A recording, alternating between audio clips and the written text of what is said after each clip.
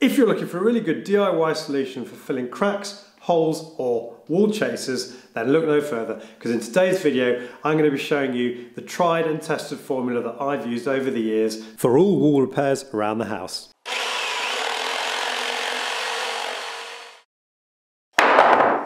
Today's repair is specifically to do with these wall chasers behind me, but the processes that I outline today will apply to any cracks, holes or other repairs that you've got to make to your masonry or plasterboard walls. There are obviously lots of ways you can repair your walls, but I'm going to outline in today's video my favourite ways of doing it so that you can decide which solution works best for your situation.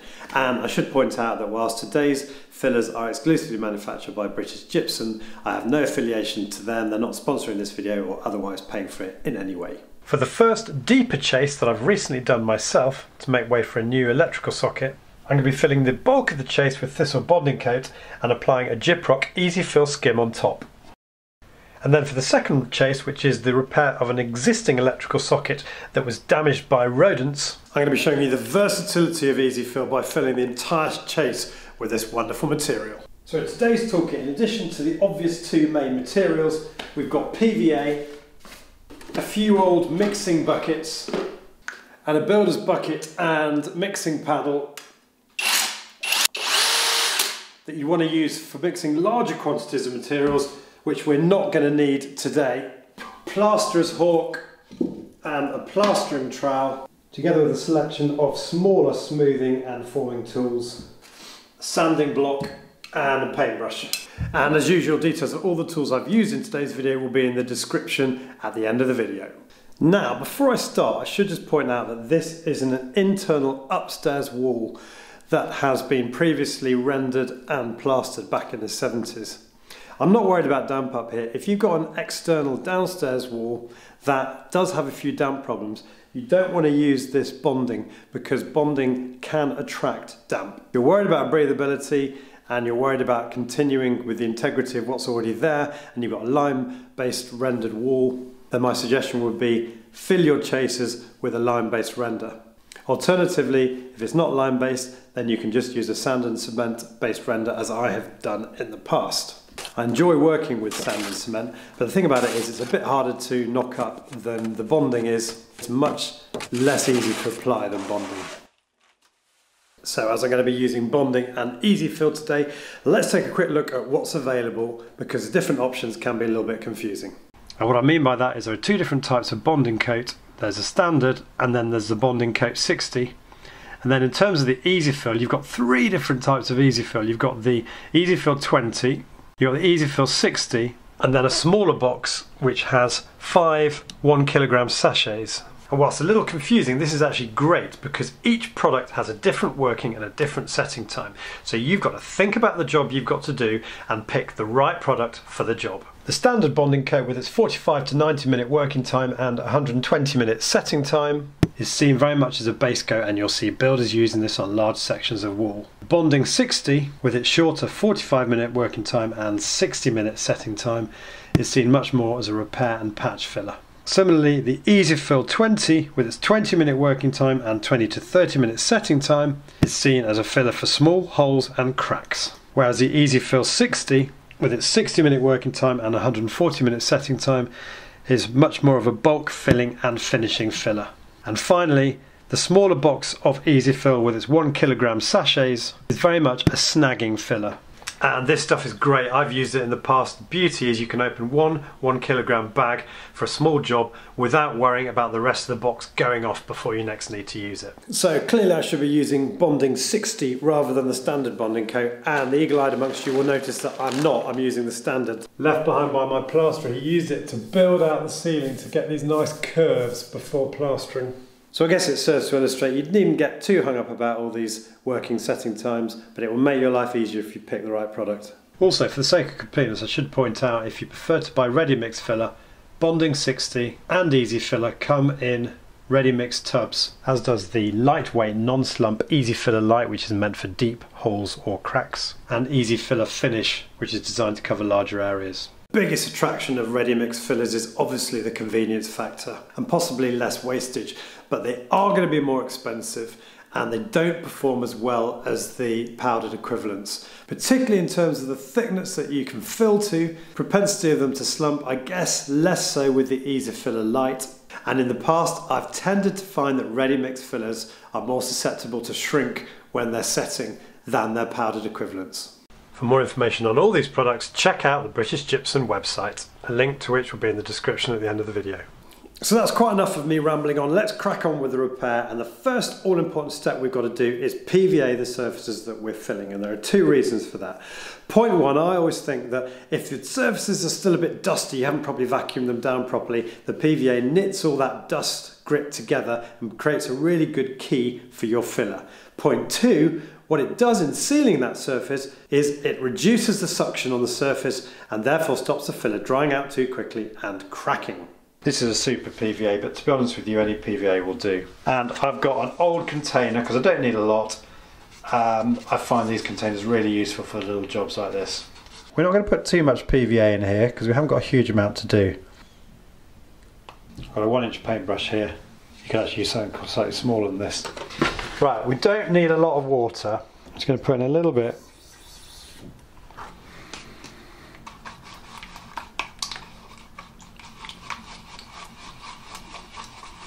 So that's our mixture. As you can see, it's quite a watery mix.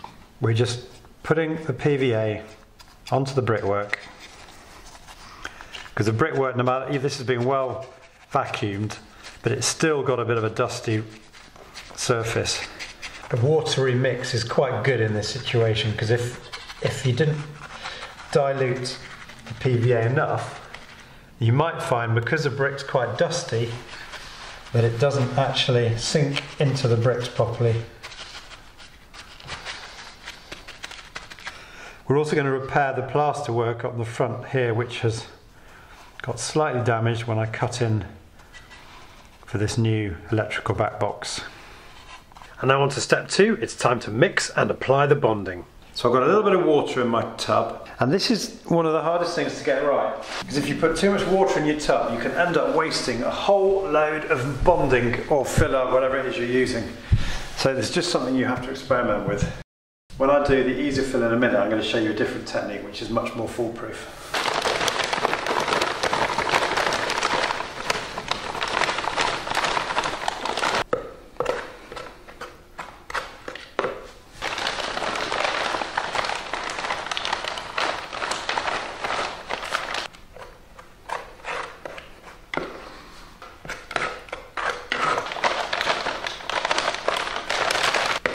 This is getting to the right sort of consistency now.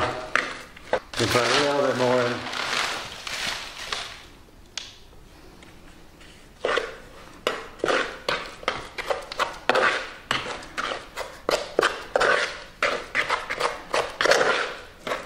You can see it has quite a grainy appearance, this stuff, but what you find with it is it's much easier to work with than sand and cement. Right, I'm happy with that. Now, for those of you thinking, why is he using that stupid little pot to mix bonding? I would say this is only a small job, which is why I'm only using a small pot. When I pulled the skirting board off this wall originally, it took all the plaster off and render with it. So to prep it before my friend Gerald came to replaster, I did need a lot more bonding. For that, I used my 25 litre ox bucket as opposed to this 15 litre bucket. And I used my mixing paddle. So all I can say is it's horses for courses. Think about the size of the job that you've got in hand and tailor the tools you need accordingly.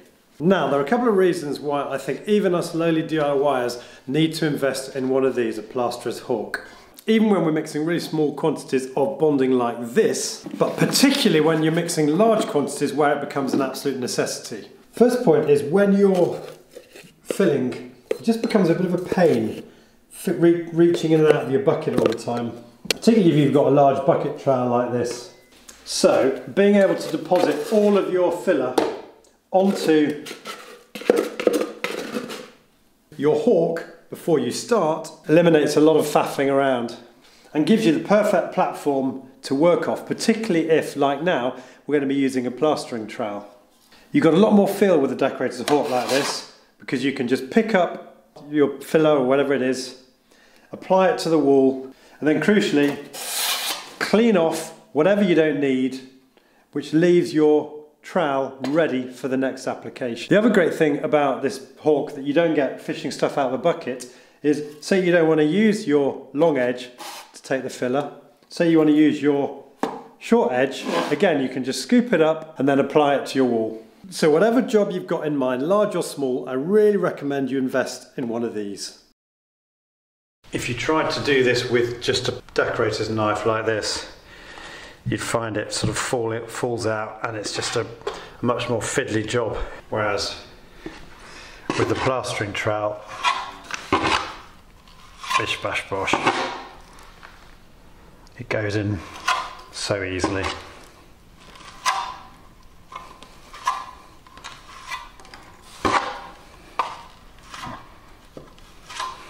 When compared with sand and cement, which would be dropping to the floor every moment I was doing this, it's just an incredibly malleable substance to work with. It's almost slightly elastic.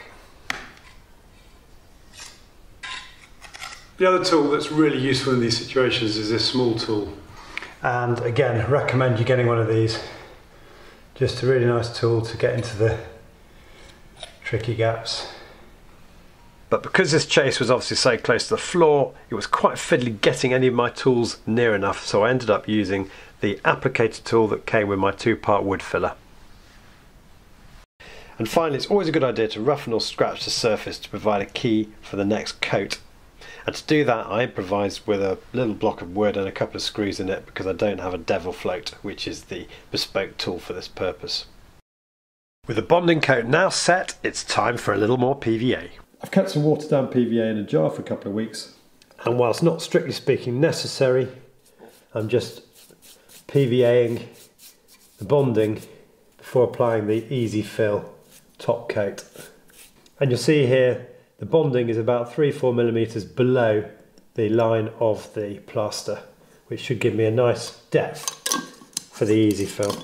Now, the established wisdom in the industry is always to pour your mixture into the water, whether you're talking about plasterboard adhesive or filler or bonding like we are today. And I don't disagree with that. However, as I explained earlier on, when you're putting powder into water, it's really hard to get the amount of mixture right.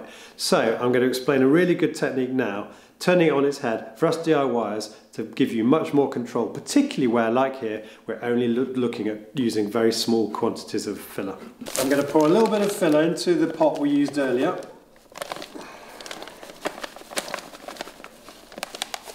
That's going to be more than enough for our job. And I'm just going to very gradually add water to the mix. Because you don't want to overdo it, otherwise you're defeating the object of this technique.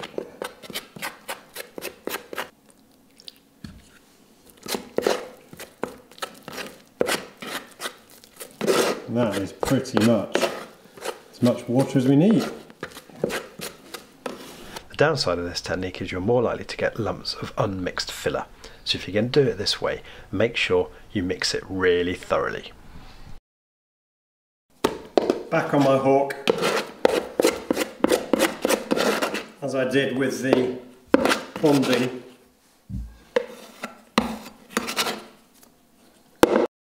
And then it's onto the wall with a filler, applying it with my plastering trowel.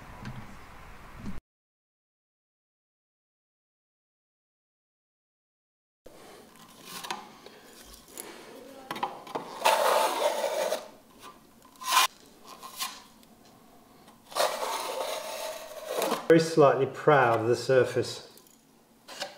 So that when we sand it back we get it beautifully flush with the surface. That's why I'm not really scraping it so that it's flush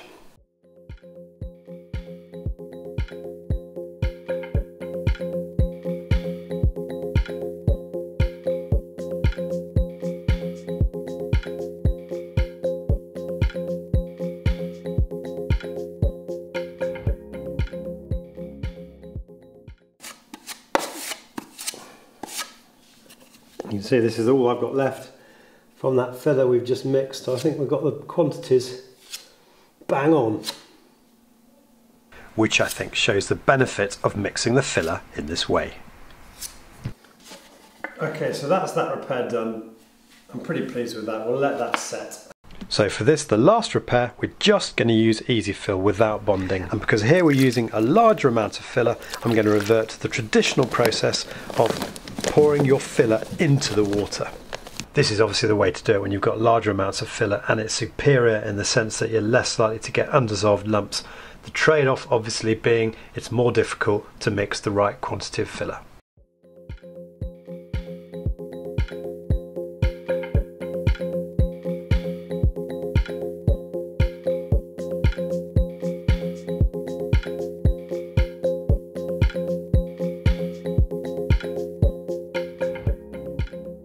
And at this point I'm switching to one of my wider Continental filler knives just because it gives a little bit more accuracy in the smoothing of the filler. A little bit of a tip with EasiFill, if you just wet your trowel, whatever it is you're using,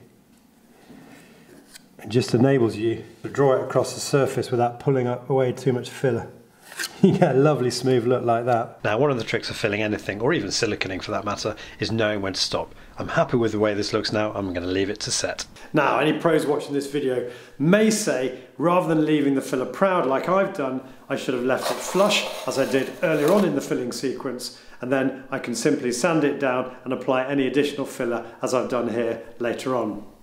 And they'd probably be right, but I'll leave it to you to decide as you hone your technique which process works best for you. And so we're on to sanding. If I was sanding a larger area, I'd be inclined to use something like this. I've had this for, I don't know, 10, 15 years, but you can pick them up pretty cheaply for under 50 pounds. But I decided instead to use this trade quality, non-clogging 120 grit sandpaper I picked up from Screwfix, combined with my trusty sanding block.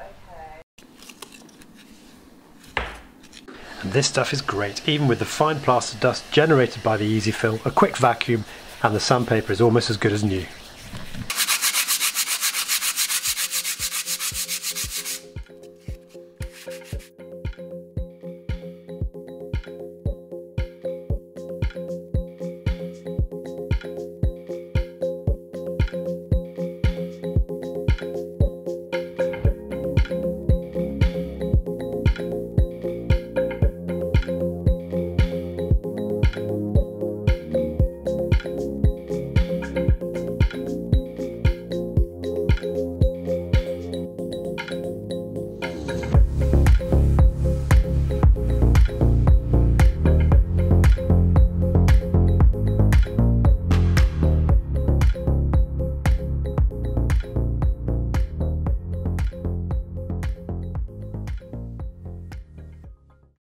Right, we've just got the odd area, as you can see here, where I just need a little bit more filler, even with my efforts to try and leave it proud of the surface.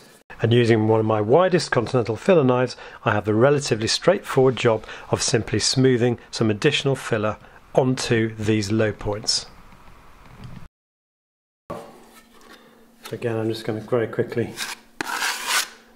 The brilliant thing about these filler knives and this is particularly good when you're filling cracks in the wall.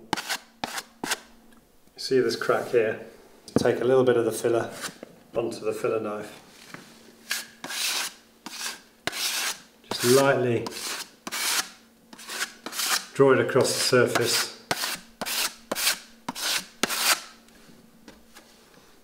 The crack's gone and will require almost no sanding before repainting. And that is why this is such good snagging filler.